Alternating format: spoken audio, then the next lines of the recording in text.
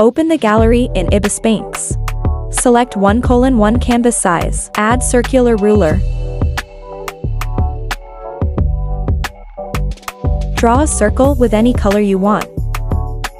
Fill the circle by using bucket tool. Add a new layer and clip it to previous layer. Select the airbrush trapezoid 60%. From brush library. Set the brush size and opacity. Start shading to give some shadow effect.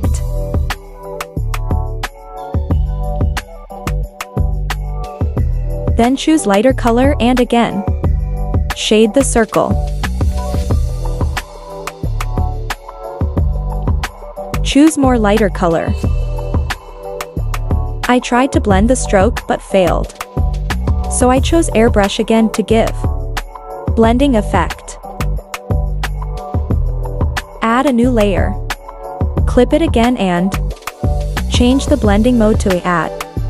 I chose the white color and drew a stroke and blended it with blur tool. Retouched all the shadings.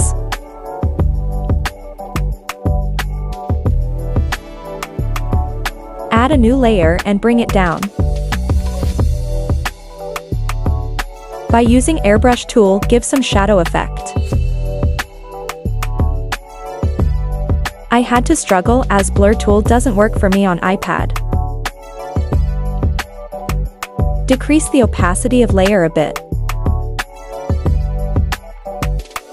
Set the shadow as you want.